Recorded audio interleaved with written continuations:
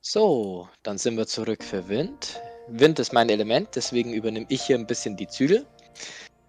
Ähm, es ist ein schwieriges Set für Wind. Ich sehe Potenzial, kann aber auch genauso gut nach hinten losgehen.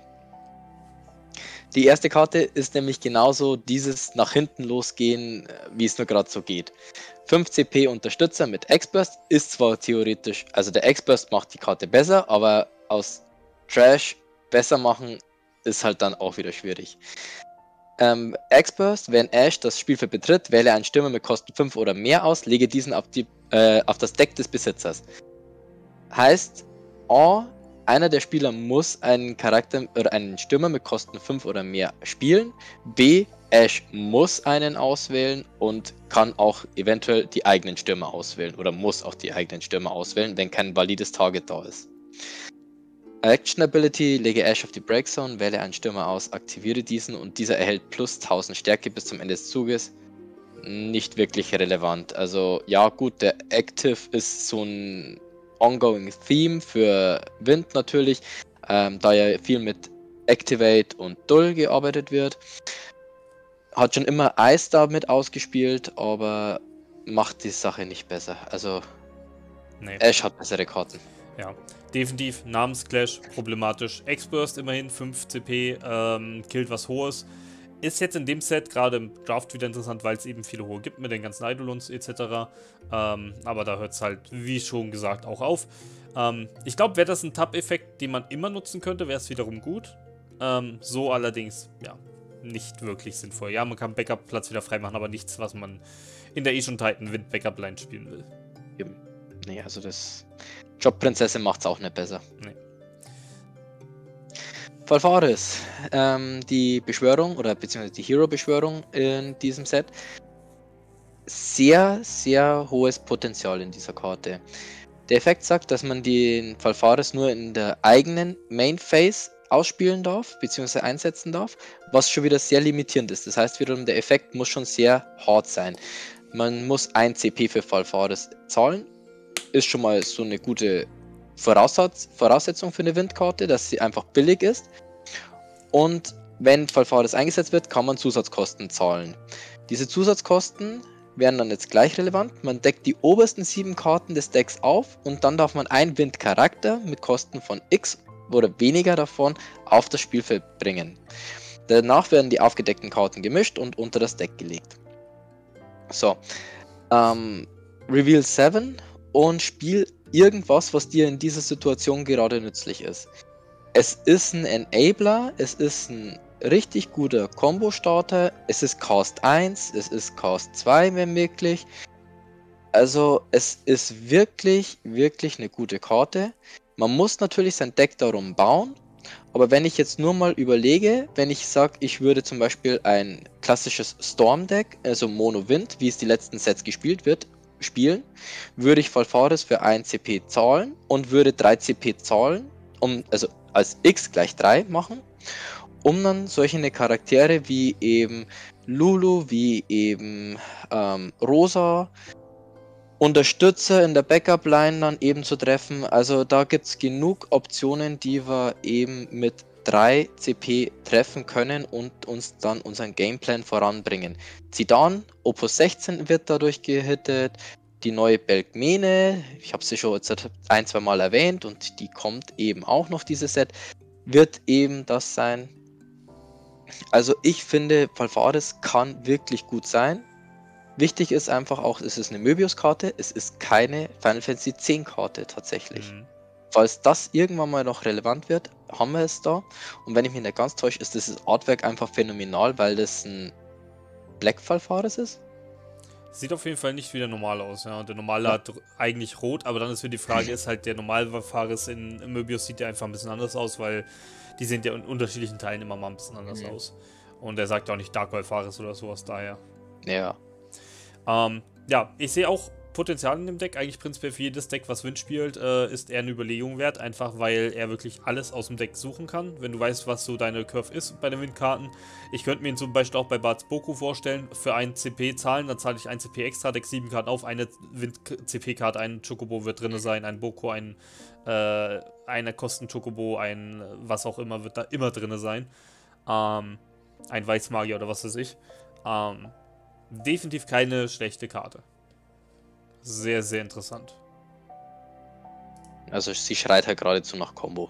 Ja. Also und alles, was Combo macht, liebt Monowind. Ja, und gerade weil man eben auch das bestimmt so stacken kann, dass man halt ihn als drittes castet, die extra Kosten zahlt, dann äh, aktiviert Rosa zum Beispiel Backups wieder. Man hat eh gerade von mir aus noch ein paar Backups offen, ähm, die man sonst nicht benutzen könnte, kann man die halt noch zusätzlich zahlen, um dann halt, keine Ahnung, auf 5 sogar zu zahlen, weil vielleicht deckt man ja seinen Bismarck auf oder so. Mhm. Normalerweise müsste der Pay on Resolution sein, also wirklich auch so, dass dann okay wichtig ist, dass dann Rosa aufstackt, also ja, ist ja bei Summons dementsprechend. Erst. Genau, Rosa aktiviert immer nach einer Summon zuerst alle Backups, also das heißt wiederum, Stacking ist immer Summon, dann Rosa. Das kann gar nicht anders funktionieren, okay. regeltechnisch. Und dementsprechend hat man dann auch immer, wenn man Falfares als dritten Cast macht, mit Rosa gleich eine volle Backup-Line. Sollte. Ja. Gut. Bahn. Wenn Warn das Spielfeld betritt oder angreift, wähle bis zu zwei Unterstützer aus, aktiviere diese. Generischer Windeffekt bei einem 5 CP Stürmer mit 9k ist für Limited nicht verkehrt, für Constructed zu langsam. Er hat eine Special mit einem Stürmer auswählen, diesen 9000 Schaden zufügen, für eine Special, also für Warn abwerfen und für zwei CP, also einmal Wind und einmal was anderes, aber es wird meistens eine Windkarte aus der Hand sein starker Effekt. Also gerade in Limited Draft würde ich jeden Warn picken, den ich nur sehe. Mhm. Also das ist, ein, ist die Karte, die wahrscheinlich einen hohen Impact haben wird, einfach weil es auf dem Common Slot ist, weil der Special so gut zugänglich ist und weil halt einfach auch dieses Betreten ihn zu einem 3CP-Stürmer macht und er dir jeden Zug Value generiert bei einem Format, wo, sag ich jetzt mal, Antworten nicht unbedingt die Regel sind. Richtig. Also alleine, dass er sich dafür nicht dulden muss. Er hat sofort die Special theoretisch ready, sobald man ihn spielt. Äh, ja. Man geht davon aus, man hat vielleicht fünf Unterstützer, man spielt Waren, aktiviert zwei Unterstützer, wieder zack, äh, Waren Specialist online. Ähm, definitiv sehr gut, wie du schon sagst, gerade auf dem Common Slot. Ähm, wenn man Draft spielt, äh, ist er wahrscheinlich fünf, sechs Mal unterwegs. Ähm, wenn man ihn selber viermal sieht, dann äh, ja, Halleluja. Mhm. Wenn ich dran überlege, jetzt zum Beispiel in Opus 23 war eine der schönen Strategien, äh, man pickt jeden Kein, also eine Common in Feuer, die man sehen kann, weil der eine Special hatte, äh, einfach nur ihn abwerfen, ein Feuer zahlen und man macht 8000 Schaden auf einen Stürmer. Ja. Und das war in diesem Set zum Beispiel sehr, sehr stark, weil die meisten Stürmer 8000 Stärke hatten. Und wir haben ja schon vorhin angesprochen, dieses Set ist auch ein recht starkes Set, aber 9000 ist so der Breaking Point für die meisten. Und die, die 10.000 Stärke haben, sind im Legend Slot. Und Richtig. die wird man sollten mal nicht so häufig sehen. Ja, also dieser Wahn ist definitiv einer der besten Removals. Da sollte man sich jetzt schon wahrscheinlich überlegen, wenn man Draft spielt. Ob man nicht vielleicht direkt von Anfang an ein bisschen auf Wind baut, alleine um den Gegnern das ein bisschen unattraktiver zu machen, wenn die den Wahn sehen. Dass genau. sie halt weniger Windkarten haben, aber mal schauen. Mal schauen. Eben. So, passend dazu natürlich FFTA, eine Viera. Äh, genau. Passend dazu einfach nur, weil Viera gab es in Final Fantasy 12 das erste Mal, habe ich sie zumindest dort gesehen. Mhm. Äh, Unterstützer, ja, mach weiter. Ne, ich wollte gerade sagen, es ist halt FFTA, FF12, FFTA 2 spielt alles im gleichen Universum. Äh, dementsprechend, ich glaube auch FFT. Hm, und genau. die, die Völker werden immer die gleichen sein. Also auch zum Beispiel Nomoi ist auch eine Klasse aus den Teilen. Der Mensch haben wir ja schon gehabt. Ähm, genau, also diese ganzen Backups hier aus FFTA, die sind da soweit kongruent, also dass der, dass das Ganze mit den Spielen soweit passt. Der Effekt von der Karte turnt mich jetzt zum Beispiel eher an, also ähm, man kann die Karte weglegen und dafür halt dann zwei Unterstützer wieder aktivieren, wenn ein Windstürmer das Spielfeld betreten hat. Das ist dann wiederum sie refundet sich selbst und gibt einen Backup-Slot frei. Das heißt, du kannst damit halt einfach schon mal Value generieren, wenn du eben am Anfang vom Spiel bist. Und wenn du sagst, ähm, jetzt brauche ich den Backup-Slot, weil ich zum Beispiel eine Schokolade aufs Feld bringen möchte oder weil lass es irgendeinen anderen Unterstützer sein, der ein Longtime Value eher generieren kann. Sei es derselbe Backup, nur du hast einen Cast mehr. Selbst das ja. ist okay. Genau. Also sie ist echt eine gute Storm-Karte. Das muss man einfach mal wirklich lassen. Das Gute ist tatsächlich, dass sie eben FFTA ist und nicht Kategorie 12, weil sonst hätten wir tatsächlich mit den Sky Pirates hier irgendwo eine Überschneidung. Und das wäre wahrscheinlich auch was, was Sky Pirates sehr gut machen könnte. Hm. Tatsächlich hast du hier sogar eine kleine, äh, einen kleinen äh, Loop. Wenn du drei von denen hast, im Draft sogar theoretisch kannst du mehrere von ihr haben. Ähm, hm. Du kannst sie auf dem Feld haben, spielst halt irgendeinen Stürmer, indem du sie mit dullst, dann legst du sie weg, aktivierst zwei Unterstützer wieder, duldst zwei Unterstützer, spielst dieselben wieder, legst sie wieder weg, aktivierst zwei Unterstützer, spielst sie nochmal, legst sie wieder weg, aktivierst wieder zwei Unterstützer. Kannst halt theoretisch in einem Constructed zweimal machen, das sind halt einfach zwei extra Draw, ja. äh, äh, zwei extra Casts, wenn man sie halt so in der Hand hat. Ähm, wird selten der Fall sein, aber es ist zumindest so eine kleine Spielerei, die man sich mal überlegen kann, falls man ist die mal in der Hand hat und sonst sie ja. tot wäre.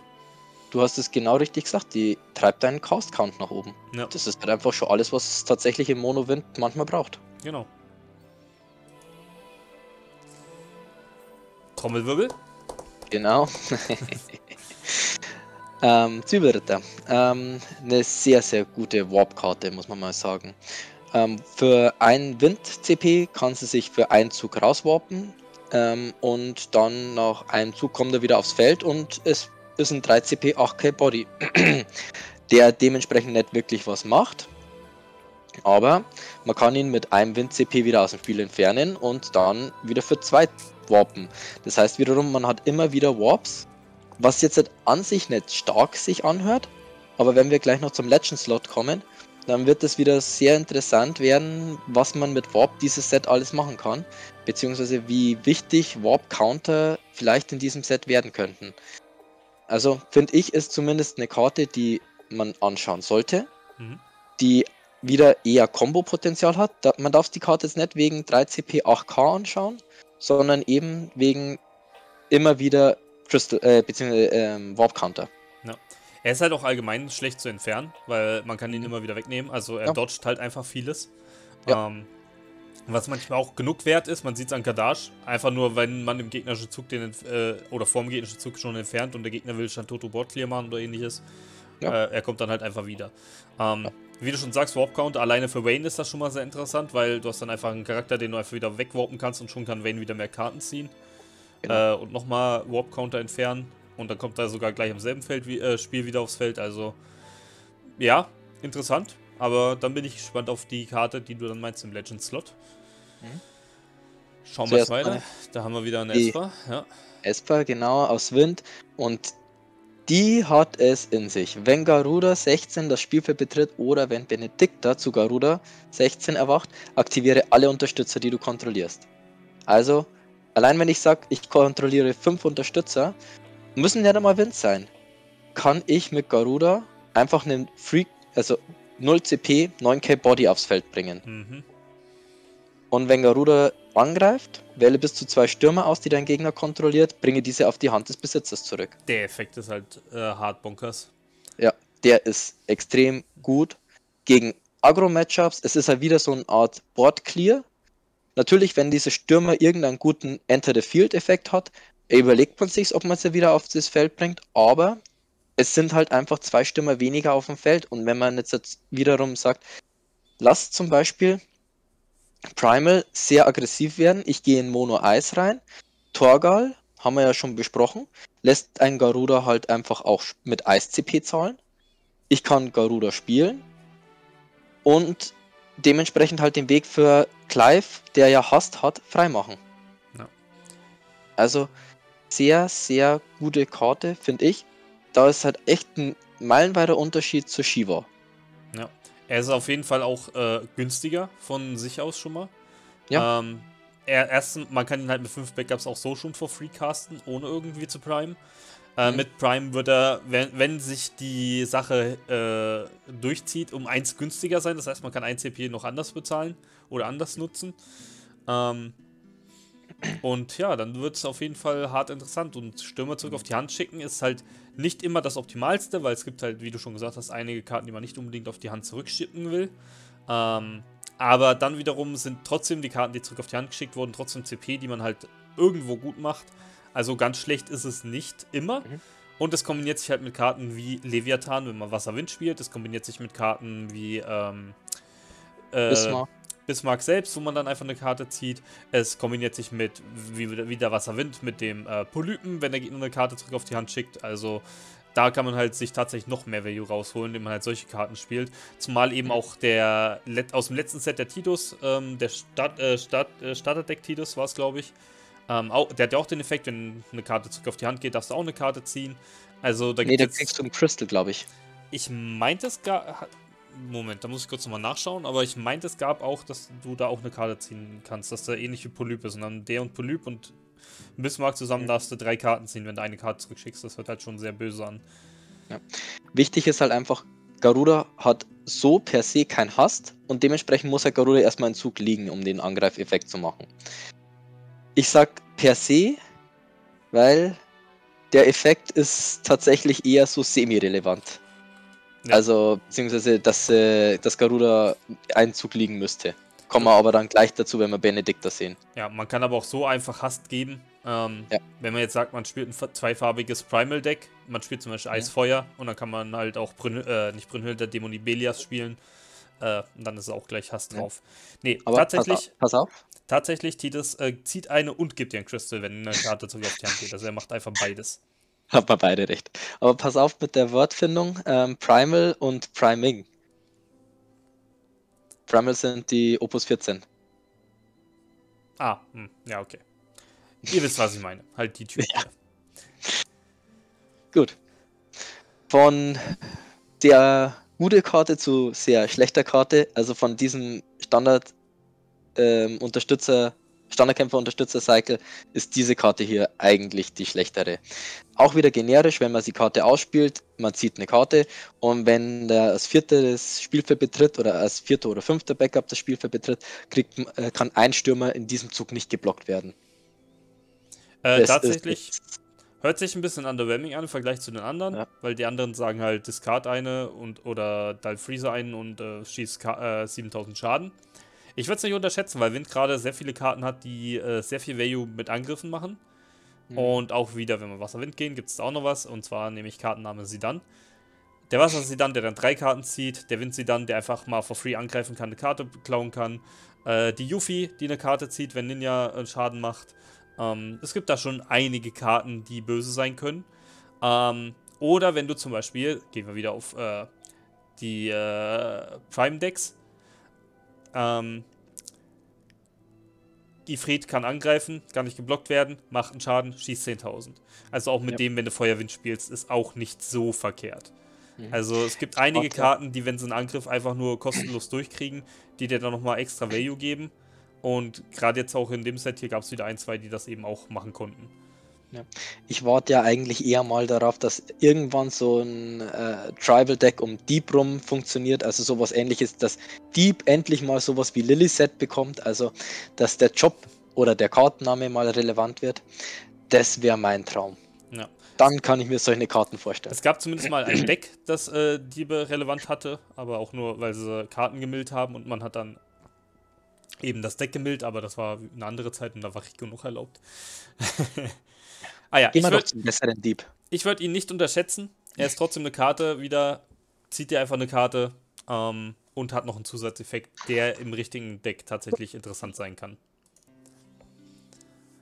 Ja, und da sind wir zum nächsten Dieb. Ja, der bessere Dieb. Sind wieder ein Tantalus-Mitglied? Ja, sind wir aber schon wieder dabei, äh, falscher Name. aber wieder ja. ein Tantalus-Mitglied und weiterhin das einzige Tantalus-Mitglied. Ähm, ja. Es gibt immer Kennen. keine neuen. Canon Fact. Ja. Aber wirklich auch, äh, das, das Cydia Artwork ist wirklich wieder schön. Also, das ist ja von der Anfangsszene mit der Aufführung mit Blanc. Mhm. Also, wirklich tolle Kostüm.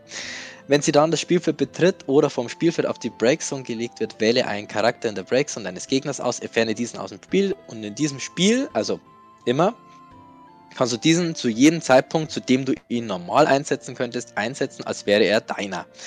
Heißt wiederum, Zidane klaut weiterhin Karten, diesmal aus der Breakzone und dementsprechend halt auch mit mehr Infos. Also, wenn ich jetzt weiß, der Gegner spielt Krieger des Lichts, Er hat schon einen Krieger des Lichts, vierfarbig in der Breakzone. Das ist ja dieses Prime Target. Das ist diese Karte, die du mit dem 2CP Sek äh, Opus 16 Sidan klauen möchtest. Mhm. Und das ist wiederum was, das kann dieser Sidan dir garantieren. Wichtig ist aber, Sidan Opus 16 lässt dich die Karte mit jedem Element zahlen. Dieser Sidan hat diesen gleichen Effekt, aber erst wenn du selbst Schaden 5 erleidet hast. Also dass deine Unterstützer die Kosten jeglichen CPs, äh, also die Kosten mit den CP jeglichen Elements zahlen können. Richtig. Heißt, du musst die CP aus, dem, aus deiner Unterstützerlinie dann eben spielen können. Du kannst sie nicht, wie jetzt der Opus 16 Sidan, sie einfach von der Hand abwerfen, Genau, also du musst immer die CP on board ready haben. Zidane muss zu dem Zeitpunkt auf dem Feld liegen, macht den tatsächlich diesbezüglich schlechter, weil vor allen Dingen halt dann Interaktionsfenster auch ist. Hm. Heißt, selbst wenn ich sag, ich kann mir eine deiner Karten erfolgreich klauen, du kannst nicht Amaterasu drauf machen, aber du machst zum Beispiel unsere neue Lieblingssamen Salamander drauf. Ja. 7000 auf Sidan. Ich habe keine Möglichkeit, den Charakter mit Sidan sozusagen auf dem Feld zum haben. Heißt wiederum, wenn ich jetzt halt eine Mono-Wind-Deck spiele und ich klaue mir eine Erdkarte, werde ich nie dazu kommen, diese Erdkarte zu spielen, außer ich caste einen zweiten Sidan. Und dann kann das gleiche wieder passieren. Richtig. Um... Ich ähm. finde diesen Sidan nicht unbedingt gut, aber es wird bestimmt irgendein Deck geben, den, der den wunderbar nutzen kann. Also, Krieger des Lichts könnte ihn halt einfach sehr wahrscheinlich wieder nutzen, weil gegen fast alle Decks kann man alles spielen, weil man alle Farben spielt. Ja. Ähm, die Sache ist halt, er macht auch keinen konstanten Value. Das heißt, der Gegner muss nicht sofort mit ihm dealen. Genau. Ähm, weil er macht das halt einmal und dann nochmal, wenn er wieder geht. Das heißt, man lässt ihn einfach eine Weile liegen. Ähm, oder entfernt ihn dann anderweitig aus dem Spiel, wenn man dann halt die Option hat. Ähm, indem man ihn dann auf die Hand schickt oder ins Deck zurückschickt, ähm, damit er halt den Breakzone-Effekt nicht triggert. Ähm, während der andere sie dann halt keinen Breakzone-Effekt hat. Das heißt, von dem wird man nicht bestraft, wenn der dann weggeht, äh, wenn man den wegmacht. Dafür wird man halt bestraft, wenn der länger liegen bleibt. Ähm, ja. Deswegen ist auf jeden Fall interessant. Muss man mal ein bisschen testen. Ähm, ich finde ihn wiederum halt, ist wieder der Vergleich mit dem Feuerwind dann. Der Feuerwind dann gibt einem Hand-Knowledge, ähm, gibt einem auch kein Plus. Der hier gibt einem wiederum wieder einen Plus, weil man eine zusätzliche Hand hat. Je nachdem, was der Gegner spielt ist interessant, man muss einfach mal ein bisschen rumprobieren. Und gerade jetzt im äh, Draft ist es halt wieder interessant. Ähm, es gibt ja auch einige Karten, die man dann mit jeden Farben spielen kann. Das heißt, wenn man selber zum Beispiel Eis-Wind wieder spielt ähm, und dann glaubt man sich halt einen Dominant oder einen äh, Esper äh, und man hat seinen, seinen, äh, seinen Hund da unten liegen, dann äh, ist das alles schon eh wieder egal, welche Elemente man hat. Ja, genau. Also das sind solche Fälle, die können funktionieren. Er ist ein Hier auf dem Hero-Slot, er wird nicht oft vorkommen, aber wenn er kommt, dann wird er in Limited zumindest gute Arbeit leisten. Ja. Uh. Yume, genau. Krieger des Kristalls im Element Wind. Auch hier wieder dieses alternative Einsetzen, also 2 CP und ein Kristall, der ja 2 CP kosten würde, um Yume aufs Spielfeld zu bringen. Und Yume hat einfach nur eine Protection-Fähigkeit. Also in dem Sinne auch hier, sie kann wieder als Starter genutzt werden. Also ich spiele Yume aus, ich spiele Zetia aus Feuer zum Beispiel, mache auch wieder eben 8000 Damage und habe dabei nicht wirklich was verloren.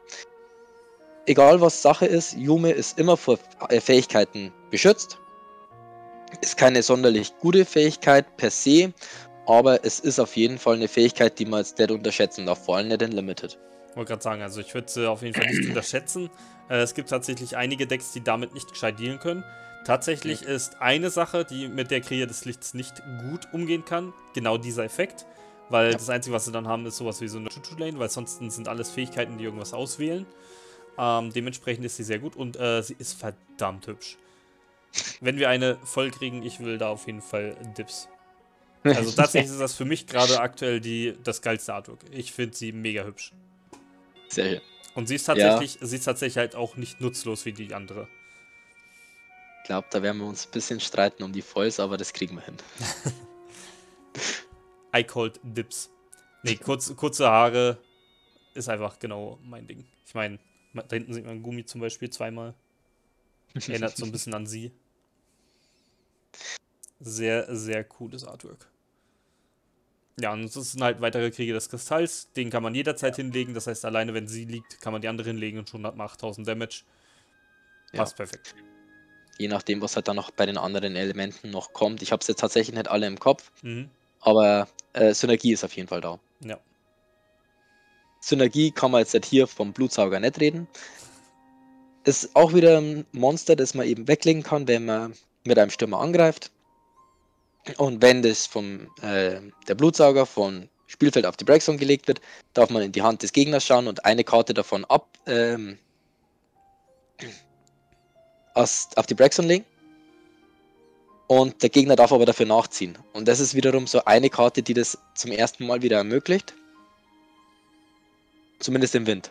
Also bisher hast du ja die Karten immer aus dem Spiel entfernt und hast dafür nachziehen dürfen. Ja. Hier wirst du sogar für den Discard gepunished. Er ist halt ähnlich Find zu dem äh, Feuer Vinzidan. Er gibt einem Hand Knowledge, ja. was halt ganz witzig sein kann. Allerdings gibt er einem den auch erst beim Angriff, ähm, wenn man das halt so spielt. Und da ist es dann problematisch. Wenn man halt aber wieder Decks spielt, ähm, eben wie gesagt mit äh, der Sumpfhexe, äh, mit Mira oder Co., dann finde ich das gar nicht mal so schlimm, weil man kriegt halt einfach ein Hand-Knowledge dafür, dass man halt eh eine Mira für free aus, aus der Breakzone spielt.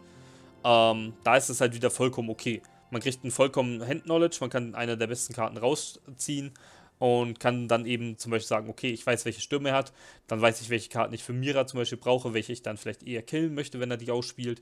Also ist jetzt ja. nicht verkehrt in so einem Deck, aber es ist ja wieder die Frage, hat man den Deckslot für diese Karte? Ist aber definitiv ja. nicht schlecht. Das Einzige, was halt wirklich, ja, sag jetzt mal, auch hier ist, du kannst einen Easy Discard, weil die Karte sagt ja effektiv Discard. Dein Gegner wirft diese Karte ab. Ja. Heißt wiederum, wenn ich jetzt sage, ich spiele Eis Wind, wenn dieses Deck wieder zurückkommen sollte, habe ich jetzt auch Windkarten, die das nochmal unterstützen, zusätzlich zu Opus 3 äh, Sidan der ja dann auch wieder das sagt, kann man wieder Barrel Eye Opus 12 spielen. Das sind solche Synergien, die funktionieren. Gibt aber weitaus bessere Karten, die das enablen. Ja. Also welche Karte ich vor allem meinte, äh, hat sich natürlich wieder durchgezogen, wenn Werbung ist. Die Leate, das war so eine der FFBE-Karten, die mir sehr, sehr gefallen hat vom Aussehen her, aber sie war halt einfach nur leider sehr trash. Ja, Deswegen bin ich froh, dass jetzt so ein paar Karten sind, die endlich mal wieder was können. Gesundheit. Okay, und das ja, war wieder bei Strangers of Paradise. Und genau. das, das, sieht so uncanny aus.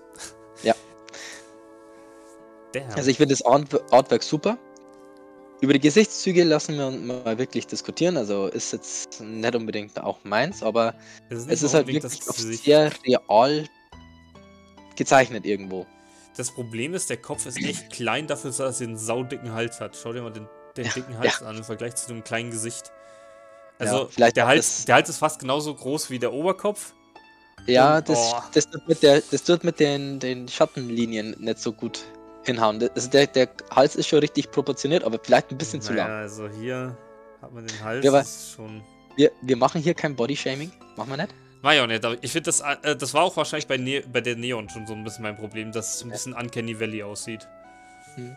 Aber ja, Effekt. Wichtiger, wichtiger, 3CP 8K, also in dem Sinne overstated wie nochmal was. Mhm. Und das ist das wiederum, wenn Sophia äh, das Spielfeld betritt, kann man ein Crystal zahlen und wenn man das tut, darf man sich eine der zwei Fähigkeiten aussuchen, also wieder halt eben Auswahlmöglichkeiten, was ja eigentlich ganz gut sein sollte. Man darf eine Stimme mit Kosten 5 oder mehr brechen oder ein Monster brechen. Beide Effekte haben wir zum Beispiel auf ähm, Alexander Opus 19, eine Summon. Viel, viel besser, das hier gibt zwar einen Body, aber braucht auch einen Crystal.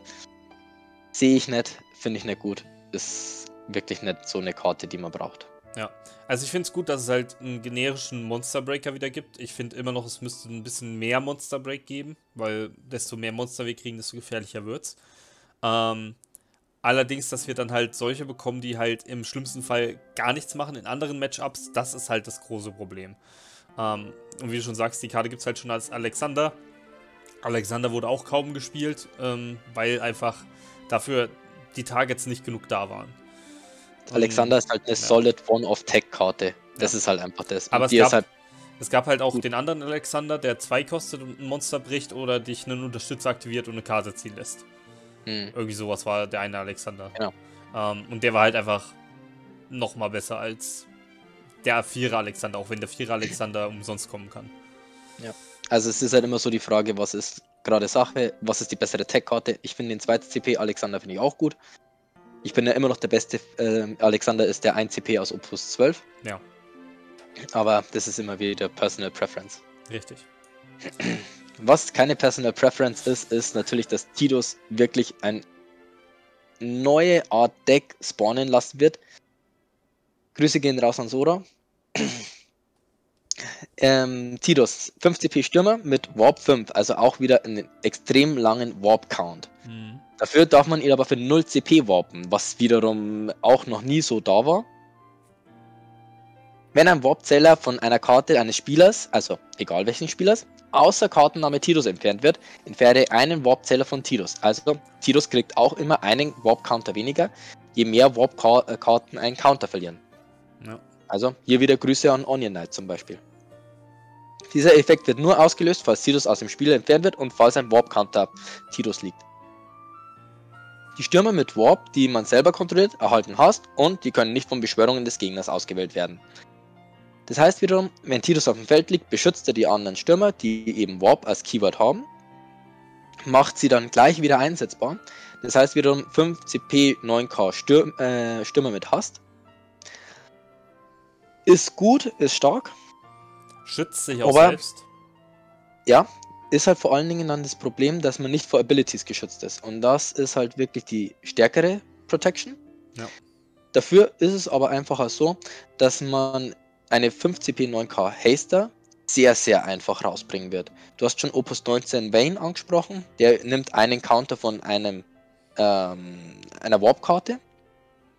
Das heißt, lass Tidus draußen sein, lass Onion Knight draußen sein. Es ist mein Zug. Ähm, Tidus verliert einen Counter, weil Mainface. Onion Knight verliert einen Counter, weil Mainface. Tidus verliert einen Counter, weil Onion Knight einen Counter verliert. Ich habe Vayne auf dem Feld oder spiele Vayne aus. Onion Knight verliert seinen zweiten Counter. Ähm, Tidus verliert einen dritten Counter. Und dann kann ich schon wieder sagen, okay, ich habe Onion Knight draußen, also auf dem Feld. Im gegnerischen Zug kann ich Onion Knight wieder warpen es ist wieder mein Zug. Onion Knight verliert einen Counter, Tidus verliert einen Counter, Tidus verliert einen zweiten Counter, weil Onion Knight einen Counter verliert. Und dann ist Tidus schon auf dem Feld. Ja. Also nur mit diesen zwei Karten geht es innerhalb von zwei Zügen. Also vorausgesetzt, Bane ist in der Hand oder auf dem Feld. Aber es gibt ja noch andere Warp-Karten. Und sobald zwei Karten gewarpt sind, außer Tidus, ist Tidus im nächsten Zug fast schon da. Ja. Finde ich auch äh, sehr stark, dass es so schnell kommt. Äh, das ist mein größter Kritikpunkt an dem äh, Vincent. Weil den schnell rauszubekommen ist echt schwer, weil man muss FF7-Stürmer spielen. Er hat zwar sehr, einen sehr starken Effekt, aber dann wiederum kommt er halt erst so verspätet rein, dass man meistens kaum dazu kommt. Ähm, ich habe ja. ihn einfach nicht zum Laufen gebracht, obwohl ich es auf Biegen und Brechen versucht habe. Ähm, und ja. jetzt kriegen wir halt die nächsten Karten, die echt solide Effekte haben und die schnell aufs Feld kommen können.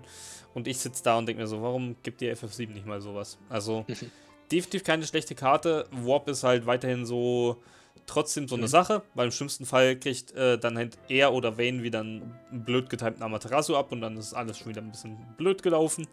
Ähm, aber trotzdem definitiv solide Karten. Muss sagen, äh, ich finde es interessant, dass er die Legend ist. Der Effekt ist nicht schlecht, aber Legend, weiß nicht, vielleicht Hero hätte gereicht. Ist aber okay. Ich gehe davon aus, einfach auch wegen dem Amano-Artwork, dass ja. er deswegen den Legend Slot gekriegt hat. Ja. No, no. Oh, no, no. Oh, no. Ähm, Job, Maschinist und Mogrin. Mogri ist der einzige, der hier zählt. Maschinist gibt es nicht wirklich viel. Es ist eine FF12-Karte. Ähm, genau, FF12 in dem Sinne hier wieder relevant als Job, äh, beziehungsweise als Kategorie. Es ist ein Stürmer für 2 CP, 5000 Stärke und wenn Nono das Spielfeld betritt, kann man einen Stürmer auswählen, den der Gegner kontrolliert. Diesem kann man 2000 Schaden zufügen und wenn man schon drei oder mehr Karten eingesetzt hat in diesem Zug, dann kann man ihm stattdessen Stärke in Höhe von Nonos Stärke schießen. Äh, Schaden in Höhe von Nonos Stärke schießen. Bei Schaden 3 erhält Nono noch 2000 Stärke. heißt wiederum, ähm, man kann dann auch für 7000 Schaden schießen. Ja. Hört sich jetzt nicht nach einem guten Effekt an, ist es bei weitem auch nicht, aber es ist ein Effekt, den Mono Wind als Removal tatsächlich brauchen kann. Wobei da halt wieder die Frage ist, äh, ist dafür der Slot dann da für den Stürmer, um so einen fraglichen Hit reinzumachen, wenn du jetzt äh, mit Velfor, mit Belmain und noch ein paar anderen Karten vielleicht einfach bessere Removal-Slots hast. Tatsächlich sehe ich das, weil Lulu die Stärke von gegnerischen Stürmern auf 5000 runtersetzt und Nono dann 5000 Schaden macht. Das heißt wiederum, in Kombination mit dem bestehenden Package ist es ein Removal für 2 CP. Es ist ein Cost Counter. Ist richtig, Es ja. ist, es ist nicht verkehrt. Mit Mogri ist es sogar searchable. Also es ist wirklich eine Karte, die in Mono Winden heimfinden könnte. Ja, in der Tat. Aber man muss halt auch wieder sagen, er kompetiert dann halt auch ein bisschen wieder mit der Dryade. Ja, natürlich. Und Wind, wie gesagt, hat eh schon so ein bisschen Platzprobleme. Ich weiß nicht, ob dann halt ein 5000 und im Zweifelsfall 7000er Schlag so viel ausreicht. Aber Ja. vielleicht. I don't Ja. know. Dafür spiele ich nicht genug Wind. Was auf jeden Fall nicht so passend ist, ist tatsächlich der Barts. 2 CP, Reisender und Krieger des Lichts. Krieger des Lichts als Job immer relevant. Und wenn ich mich nicht ganz täusche, einer der ersten Backup-Krieger des Lichts oder in Wind? Hm, Kann bestimmt auch schon welche geben. Äh, nee, Voll. Barts gibt ja, Barts gibt's ja schon seit Opus 1 als Backup. Ja, äh. Nein. Das waren zwei Stürmer. Opus 1, ja, ja. Ja, ja. Ähm, ja. Opus 10 oder ja, 10 waren Backup. Ähm, es gibt einfach den Woll im Backup, dem Slot, den man aktuell, äh, wenn man Wind Backup Ja, spielt. Äh, es gibt den Arc als Backup, wenn man den da spielen möchte. Ähm, was tatsächlich interessant ist, ich glaube, der hat wieder dieses problematische englische Wording, also das deutsche Wording, wo es wieder so ist, wenn eine aus dem Spiel entfernt wird, aktiviert diese. Und nicht, falls eine Karte aus dem Spiel entfernt ist, aktiviert diese. Ähm, lass mich mal kurz nochmal reinschauen hier. Kannst du gerne tun. Weil so hört sich das sehr komisch an. If any cards you own are removed from game, ja. Also das ist wieder ein das schlechte deutsche Wording hier. Leider. Genau. Warum auch immer die das so schlecht gewürdet haben im Deutschen. Auf Ähm. jeden Fall ist halt auch wieder so ein Free Cost, der kommen kann. Ja, genau. Er kann Ist dann halt aber- ein Free Cast sein. Mm, Nicht wirklich relevant und es gibt bessere Boards. richtig. Ich bin gerade tatsächlich am überlegen. Lass mich mal ganz kurz was nachschauen. Ob es, wie gesagt, einen anderen Barts gab in der Backup-Line. Ich glaube aber nicht. Ja, Opus 10, doch. War da ein Backup drin? Ja. Aktiviere alle deine Windcharaktere. Ah, Oder ja, der da. Ja, der X-Burst. Mhm. Hm, 4 CP, aber ist halt dann auch fraglich, wie weit das besser ist. ja. Ich bin halt einfach nur am überlegen, ob man halt einfach den Barts vielleicht im Zusammenhang mit dem anderen, mit dem Hero Barts aus dem vorherigen Set spielen kann, dass man halt einfach sagt, hey, man hat ein Special Target. Und wenn man den Stürmer nicht mehr braucht, kann man halt stattdessen einen Backup hinlegen, damit man halt einen weiteren Windslot hat, nicht nur Woll oder King Tycoon. Ähm, aber nee, definitiv eher schwachsinnig die Idee. Zumal der Effekt halt einfach nicht so effektiv ist in einem Kriegerslichtstick, weil man selber nichts entfernt. Effektivster ist dafür aber die nächste Karte. Benedikta. Wenn sie das Ja, Spielfeld betritt, erhält sie Hass bis zum Ende des Zuges und sie ist die, die zu Garuda erwacht. Okay. Genau. Ähm, Sie braucht nur 1 CP, um zu erwachen. Also sie kostet halt 3 CP und sie braucht 1 CP, um zu erwachen. genau, So, wie erwartet. Ist also dementsprechend auch wieder 1 CP günstiger, als wenn ich Garuda selber ausspiele. Ja. Erstschlag hat sie eben, solange sie normal ist. Wenn sie dann erwacht, haben wir ja schon beim letzten Mal festgestellt, dass sie dann eben den Erstschlag verliert. Aber Schaden 3. Wenn Benedikta das Spielfeld betritt, erhält Benedikta Hast bis zum Ende des Zuges. ja. Und das heißt wiederum, dieser Effekt bleibt, auch wenn sie zu Garuda wird. Ja. Und das macht Garuda um so vieles besser, weil Richtig. dieser Angreifeffekt einfach gleich online ist, sobald man Benedikta eben erwachen lässt. Man muss halt Sehr, sehr starke Karte. Man muss es über Benedikta dann machen, ab drei Schaden. Das ist so der einzige Nachteil davon. Das heißt, man kann nicht Garuda einfach so spielen, sei denn, man gibt ihm halt wieder mit äh, Dämonibelias oder sowas hast. Aber das ist definitiv sehr stark. Und alleine das ist schon der Grund, warum ich sage, äh, Nono wird äh, keinen Platz finden. Ja, ja, beziehungsweise kann ich mir vorstellen, dass das nicht in die gleichen Decks passt. Kann sein, aber ich glaube, du könntest auch im Mono-Wind einfach äh, sie und Garuda reinsplashen und hast halt einfach dann den Haste Removal von zwei Stürmern. Äh, ich glaube, das ist nicht so verkehrt, auch im Mono-Wind nicht. Mm. Zumal du halt dann auch gleich wieder alles aktivierst. Das heißt, also, du hast äh, einen Garuda, der zwei Karten removed, du hast dann vielleicht den Tidus noch drin, der, der noch äh, was äh, eine Karte zieht, du hast den Bismarck drin, der vielleicht noch eine Karte zieht. Und du hast dann halt, wie gesagt, auch gleich wieder alle fünf Backups aktiv. Ja. Ich liebe zurzeit mit einer Mono-Wind-Variante, die eben nicht auf das typische Storm abzielt, mhm. sondern einfach eher Good Stuff, gute Stürmer spielt. Da muss man zugeben, dass man in Wind nicht unbedingt die beste Auswahl hat, aber man hat zum Beispiel Opus 18 Yuffie, die mhm. wiederum einfach ein also wirklich starker Stürmer ist. Ja. Und mit Benedikta hat man jetzt den nächsten in der Reihe. Richtig. Und das sind so zwei, drei Karten, dann dementsprechend, wenn man Garuda mitzählt, die man wirklich da beachten muss. Und ich kann mir auch gut vorstellen, dass so ein Deck, sei es drum, ob das jetzt wirklich funktionieren kann oder nicht, eine Chance in der Meta haben könnte. Ja. Also ich sehe das tatsächlich auch als sehr gefährlich, weil wenn man dann Garuda einmal draußen hat und äh, sich schon zwei Stürmer removed hat, wenn man in dem Zug nichts machen konnte, hat man dann vielleicht keine Stürme mehr. Äh, dann muss man halt erstmal wieder Sturm hinlegen und wenn die nicht direkt wieder mit Garuda dealen, schickt Garuda die einfach direkt wieder zurück. Also sie ist dann halt einfach ein Floodgate, äh, die die ganze Zeit sagt, nö, schickst du alles wieder zurück, schickst du wieder zurück, schickst du wieder zurück. Bis du halt Garuda erstmal wirklich outest. Ähm, ja. Und das können nicht alle Decks so easy.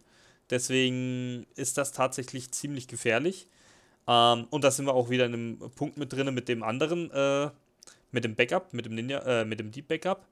Äh, wenn man sie nämlich spielt, und vorher vielleicht den äh, Backup spielt und sagt, sie kann jetzt auch nicht geblockt werden, das bleibt auch auf ihr, dann kann Garuda halt auch angreifen und selbst wenn der Gegner drei starke Stürme auf dem Feld hat, äh, kann sie halt in dem Moment nicht geblockt werden oder auch nicht durch einen Hinterangriff irgendwas gemacht werden oder irgendwas. Ja. Ähm, einzige, der einzige Nachteil, den Garuda oder Benedikta tatsächlich hat, ist, dass äh, der Schaden 3-Effekt äh, folgt. Das ist eine Outdoor-Fähigkeit. Das heißt, wiederum hier haben wir ein Interaktionsfenster, genauso wie bei Chill. Ja. Kann also dementsprechend das Priming auch verhindert werden. Ja, indem man sie halt einfach vorher schon mit Amaterasu wegschießt. Mhm. Gut. Kommen wir zu Amaterasus Next Best Friend. Belgemene. Äh, ja, Lest Ma du mal. Markus äh, feiert diese Karte schon sehr hart. Ich finde sie auch sehr gut. Sie ist auch eine Legend. Sie kann nicht von Beschwörungen ausgewählt werden, was schon mal sehr gut ist, weil ansonsten würde jede Beschwörung, die auch nur ein kleines Fitzchen schießt, sie sofort killen. Wichtig, ähm, von allen Beschwörungen. Du kannst sie nicht mal mit Chocobo zurück in die eigene Hand nehmen. Okay, das macht sogar äh, sie ein bisschen schlechter. Ähm, ja. Wenn du in deinem Zug die zweite Beschwörung einsetzt, wähle bis zu zwei Stimmen aus, die kriegen 4000 Schaden. Äh, wenn du im Zug äh, die dritte Beschwörung einsetzt, wähle bis zu drei Stimmen aus, den Gegner kontrolliert und der Gegner legt diese in beliebiger Reihenfolge unter das Deck. Eine, ein sehr, sehr starker Effekt, den man auch ums, umspielen kann, indem man halt sagt, okay, man spielt erst zwei Summons, dann spielt man Bergemene aus, dann spielt man die dritte Summon. Aber wie Markus schon sagt, äh, jedes, jeder Amaterasu, jeder Leviathan, äh, der sie dann negiert, macht den ganzen Zug letzten Endes komplett zunichte, weil man im blödesten Fall in dem Zug gerade vier Karten gespielt hat, um möglichst alle Karten wegzukriegen oder mhm. drei Karten wegzukriegen und dann äh, hat man auf einmal nichts weggekriegt. Ja. Ähm, und ich habe das im Feuervideo schon angesprochen. Ähm, ich sehe Feuerwind kommen. Und Bergmene ist tatsächlich eine der Gründe dafür. Und zwar nicht der dritte Effekt, also beziehungsweise der Drei-Cast-Effekt, sondern tatsächlich der mit den eben zweimal 4000 Schaden schießen. Weil es einfach dieses Ping ist und der Gegner meistens eher damit rechnet, ja, der Gegner wird ja noch einen dritten Cast machen oder einen dritten Spell, mhm. drittes Summon. Und man muss es nicht tun. Man kann, Richtig. aber man muss es nicht. Und wiederum, wenn ich sage, okay, ich lasse die 4000 Schaden durch, ja, ist toll. Und ich kann dann gut, genauso gut sagen, ich mache zum Beispiel Cast 2 Salamander, 7001, 4000 das, äh, 5000 das andere, sparen wir 4000 drauf, damit ich einen 9000er zum Beispiel und noch einen 9000er killen kann. Und wenn dann noch einer auf dem Feld liegt, ein Stürmer, kann ich genauso gut dann über irgendwelche Auto-Abilities oder irgendwelche anderen Fähigkeiten dann eben aufs Kreuz nehmen und der Gegner hat dadurch dann sein Fenster verpasst, um mit Belgmene zu dealen. Und dann komme ich daher und spiele Menü. Natürlich, das ist natürlich was anderes. Also für nee. unsere lokale Meter wird es nicht funktionieren, ganz klar. Nee. Definitiv Aber, eine gefährliche Karte, die man im Kopf halten muss. Ähm, ja. Karten wie Amaterasu und Co. werden immer wichtiger. Ähm, mhm. Es ist einfach so, ich finde auch inzwischen weiter den Leviathan sehr, sehr gut. Ähm, auch wenn er manchmal den Stürmer nicht killt. Man kann oftmals Stürmer auf andere Arten und Weisen killen. Ähm, aber einfach Karten wie Belgemene ist halt auf jeden Fall eine Sache, die man stoppen muss. Ähm, ja. Aber auch da sind wir wieder an dem Punkt. Ähm, es gibt viele Karten, die das umspielen können. Wie du schon gesagt hast, es gibt einige Karten, die eben nicht ausgewählt werden können. Darunter jetzt eben diese neue Crystal-Karte, der Namen ich mir merken sollte, wenn ich sie schon so mag. Ähm, Yume. Ähm, kann nicht ausgewählt werden, das heißt, sie countert das ein bisschen aus. Mein Cloud countert das ein bisschen aus. Ähm, ja. Es gibt ein paar andere Karten, die das auskontern. Kriege des Lichts mit dem neuen Krieger des Lichts zum Beispiel. Mhm. Äh, ähm, es ist halt, ich finde die Belgmene trotzdem einfach eine gute Karte, sie weil sie den Gegner Karte. fordert. Sie die fordert den Gegner und es wird wirklich dieses Interaktionslevel nochmal erhöhen. Ob ich jetzt bei meinem zwei Summons pro Zug bleibe oder ob ich nochmal auf den dritten hochgehe. Weil wenn du jetzt sagst, du willst schon den zweiten Effekt oder auf zwei Summon-Effekt dein Amaterasu machen, cast dich nochmal eine Summon oben drauf und dann triggert der andere Effekt. Ja. Hast du dann nochmal genug, um noch einen Amaterasu zu casten oder einen Leviathan oder sonstiges? Ist es dann eher so und dann die Frage, willst du für einen 1-CP-Stürmer 3 bzw. 6 CP hinschmeißen? Weil Wind wird nicht das Tempo verlieren, dadurch, dass es Summon castet. Nee. Und da sind wir auch wieder beim nächsten Punkt. Ähm, man kann natürlich auch den Valfaris spielen als zweite Summon wenn dieser dann bei Mene auftaucht, äh, aufdeckt, wenn man halt gesagt hat, ich habe nur zwei, eins gezahlt oder zwei gezahlt oder man zahlt halt drei und findet sie dann und denkt man das besser, mhm. ähm, bringt man sie aufs Feld, dann ist das Deck abgearbeitet ähm, und dann kann sie halt entsprechend den dritten Cast äh, casten. Und ich könnte mir sie tatsächlich auch in zum Beispiel Batsboko vorstellen, indem man sie dann rauscheaten kann. Ähm, könnte definitiv auch ganz witzig sein sie, sie braucht halt Setup, das ist halt einfach das. Richtig. Aber das ist nicht so schwer in solchen Decks, weil Bartsboko braucht sowieso ein bisschen Setup und äh, mit Belgemine hast du dann äh, mhm. eh dann das Setup. Aber muss mal gucken, ist auf jeden Fall eine gute Karte. Ja, also Belgemine ist die Karte, auf die man in Mono Wind oder beziehungsweise allgemein in Wind-Varianten jetzt sehr achten kann und muss. Ja, auf jeden Fall. Und ich finde es immerhin fair, dass man sie mit Chocobo nicht so einfach clearen kann, weil ich finde, Chocobo ist immer noch ja. eine der stärksten Summon, die es gibt. Ja. Oh Gott, schon wieder ein Menü. Gut, dass wir gerade von ihm Min. gesprochen haben. Stürmer 4 CP, ähm, The City of Final Fantasy und eben äh, Final Fantasy 2. Ähm, die Kategorie 2 Stürmer außer Minwo, die du kontrollierst, erhalten. Dieser Stürmer kann nicht von Fähigkeiten deines Gegners ausgewählt werden. Also auch wieder Protection auf der Seite hier, was Minwo ja eigentlich ganz gut machen kann. Wenn Minwo das Spielfit betritt, ja instant die Belgemein-Konterkarte als nächstes. Wenn Minwo das Spielfeld betritt, wähle einen Kategorie 2 Stürmer außer Minwo äh, in deiner Breakzone aus, falls diesen Ko ähm, Kosten gleich der oder geringere Anzahl an Unterstützer sind, die du kontrollierst, bringe diesen auf das Spielfeld. Also ist es halt auch wieder eine Karte, die das Bla äh, Floor, äh, Board flooded. Ähm, äh, Kategorie 2 Stürmer, der hier natürlich zu nennen ist, ist entweder Guy, ähm, in Feuer. Oder dann eben äh, der Leon, der in Wind ja zu Hause ist. Beide bringen andere Karten mit aufs Feld und da sind wir halt wieder in dieses, die Rebels kommen nie alleine, aber Minwu ist halt Weißmagier, also im Endeffekt, der hat keine Jobsynergie, was das Ganze wieder ein bisschen schwierig macht. Mhm. Bringt Rebels bei weitem nicht dahin, wo sie hin müssen, aber ist zumindest ein bisschen was. Was ganz interessant ist, dass er eben auch äh, kostenmäßig, farbenmäßig vollkommen egal ist. Das heißt, man kann auch Karten wie den Multicolor Emperor spielen, den man sowieso schon warpen mhm. kann, ohne irgendwelche Kosten. Ähm, und der kann den dann einfach wieder ausspielen.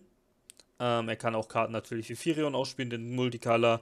Er kann aber auch den Dunkelheits Emperor ausspielen. Er kann eine Maria ausspielen. Der hat schon ein paar gute Targets drin. Mhm.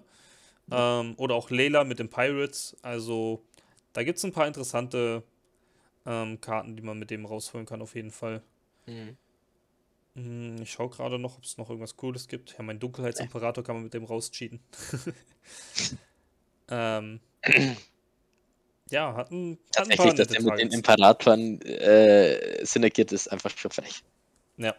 Also wenn man fünf Backups hat, kann man halt einen Dunkelheitsimperator ausspielen, der dann, wenn der geht, wieder einen anderen Imperator ausspielt. Das ist schon ganz witzig. Ja, ja also, und da, dabei sind ja die canonically Antagonisten, also, so, naja. also Gegenspieler. Nee, und dann Next. halt so ein Protection-Effekt ist sehr interessant. Vielleicht spiele ich doch wieder Wind, Erde, FF7 und spiele dann den Imperator drin und spiele einfach den Menü, um mich zu beschützen. Nein, das ist so Blödsinn. Machst du nicht. Flügeldämon. 1 CP Summon mit X-Burst. Ähm, ich sag dir ganz ehrlich, diese Karte zusammen mit ähm, Warn wird in Limited alles kaputt machen. Mit Warn, dem äh, Crystal? Oder welchen? Nee, äh, der, was ja dann sagt, äh, aktiviere zwei Unterstützer und wenn du, wenn er kommt und wenn er angreift und dann eben die Special hat mit 9000 Schaden. Hm. Mhm. Weil eben Flügeldämon sagt, Exburst, wähle einen Stürmer aus, den dein Gegner kontrolliert. Das ist schon mal sehr gut, haben wir jetzt in diesem Set gelernt. Füge diesen 3000 Schaden zu, suche einen Kartennamen Flügeldämon und füge ihn diesen in deiner Hand hinzu. Heißt wiederum für 1 CP, ich mache 3000 Schaden und hole mir eine weitere Karte aus dem Deck. Ja. Ähm, lässt halt in Limited den Gegner nicht mitspielen. Ähm, ich, will grad, ich wollte gerade mhm. sagen, also ähm, das Ding ist auch wieder, er ist kommen. Ja, das ist ja ähm, das. Das heißt, auch den kann man halt sehr oft ziehen. Das heißt, den kann man wirklich sechsmal im Deck spielen und dann sechsmal hintereinander casten. Ja. Ähm, und erinnert mich so ein bisschen an Valfaris mit Juna. Nur, dass er halt nicht äh, die Backups alle reaktiviert, aber halt dafür mhm. sich selber sucht, während man die Valfaris ja. damals halt äh, auf der Hand kippen er gibt musste. dir halt, wenn man es wenn man's, wenn man's irgendwie rechnen möchte, gibt er dir beim ersten Cast plus 2 CP. Oder plus 1 CP. Theoretisch auch nicht, weil du castest ihn ja. Das heißt, ja. du verlierst halt die 2 CP ja, und dann ja, du, du musst also, zahlst die ganze Zeit ja. dann 1 CP, damit der Gegner 3000. Das ist halt, als würdest du ein Backup dulden, um 3000 Schaden zu schießen, aber du verkleinerst halt auch dein Deck nebenbei. Genau. Was halt äh, auch meistens, was die meisten Kartenspieler wissen, nicht so Eben. schlecht ist, ein kleineres Deck zu spielen. Vor allen Dingen, jetzt überleg mal, du packst diese Karte in Limited 6, 7, 8 Mal in dein Deck rein. Ja. Je nachdem, wie oft er halt kommt. Und das heißt wiederum, ich caste drei von denen, ich mache 9000 Schaden, es killt ziemlich alles in diesem Set. Ja. Und im nächsten Zug mache ich das gleiche einfach nochmal, weil ich die nächste Antwort schon gezogen habe ja. oder mir rausgesucht habe. Also Limited ist der phänomenal, in Constructed, ja. nee. Nee, willst du nie, dass deine letzte Search-Karte sozusagen dann das ist, was du, also dass du keine Optionen hast. Ja. Das hat man zu Opus 6 mit Rubruma Soldat, aber das ist nicht mehr Opus 24. Ja. Sehe ich genauso. Für Limited ist Mono-Wind tatsächlich äh, ein Deck, was man äh, niemanden draften lassen darf. Es wird, glaube ich, zu schnell ja. eskalieren. Also, Pro-Tipp, wenn ihr irgendwas macht, Mono-Wind oder halt dann eben Primals is the way to go. Ja. Die Sache ist natürlich, man kann halt auch wieder sagen, gut, ich drafte extra keinen Wind, weil halt die anderen sich alle Wind zusammen draften, ja. aber das ist halt wieder Spiel mit dem Feuer, weil dann macht es vielleicht doch keiner und dann hat auf einmal ja. wieder alle, einer alle Soyers, weil sich keiner getraut hat, die zu sammeln, mhm. weil sich dachte, der kriegt alles und kriegt man aufs Maul. Und andersrum, es reicht, es reicht tatsächlich, wenn du sagst, du hast einen Windunterstützer und kannst halt dementsprechend, oder zwei Windunterstützer und kannst deine Windkarten irgendwie nutzen. Ja. Gut. Das war auch das Ende mit Wind. Ähm, ja, Wind definitiv sehr gefährlich bei Gemäne ähm, Benedikta ja. sehr, sehr gefährlich. Yume eine mega hübsche Karte, wahrscheinlich meine Favorite-Karte aus dem ganzen Set bisher, vom, alleine vom Artwork her. Ja. Tidus, Tidus war ja eine Card of the Week, also ein Artikel von dem Game Designer Kageyama. Und ich weiß nicht, ob du den Artikel gelesen hast oder nicht. Er hat halt den Artikel damit beendet, dass er sagt, er wünscht sich, dass Warp jetzt mehr Turnierplay sieht. Schauen wir mal, ob Tidus das stemmen kann. Ja, ich glaube tatsächlich aktuell noch nicht. Ähm. Aber er ist auf jeden Fall keine schlechte Karte. Ja. Mhm. Es wird, es wird so ein Deck werden, das man gerne spielen möchte, aber es wird nicht das Power-Level haben, wo man hin muss. Ja. Mich haut hier tatsächlich nichts wirklich hart vom Hocker. Aber was halt äh, krass ist, ist, dass Garuda und, äh, und Benedikta beide rare sind. Das ist halt ja. sehr, sehr gefährlich, weil. Also Garuda halt von. Also die Kombination zumindest hätte tatsächlich ein Legend-Slot verdient. Ja. Ähm, ansonsten haut mich jetzt nicht so hart vom Hocker. Es sind ein paar richtig gute Karten dabei, aber auch sehr viele harte Nischkarten. Deswegen weiß ich noch nicht, wie ich das sehen soll. Aber Willst als Mono-Farbe ist das jetzt für den Draft auf jeden Fall sehr, sehr gefährlich. Ähm, und es gibt halt einige neue Tools, die für Monowind sehr interessant sind. Dann würde ich doch einfach sagen, war das doch ein guter Abschluss und wir schauen einfach mal, was Erde uns dann bringt. Jawohl. Dann sehen wir uns beim nächsten Mal wieder, Mal. wenn wir Erde machen. Ähm, wir haben diesmal wieder ein bisschen länger gequatscht. Diesmal sind wir bei 6,50 Minuten. Aber ist halt so. also, Also, wir sehen uns dann. dann beim nächsten Mal wieder bei Erde. Bis dann. Bye, bye.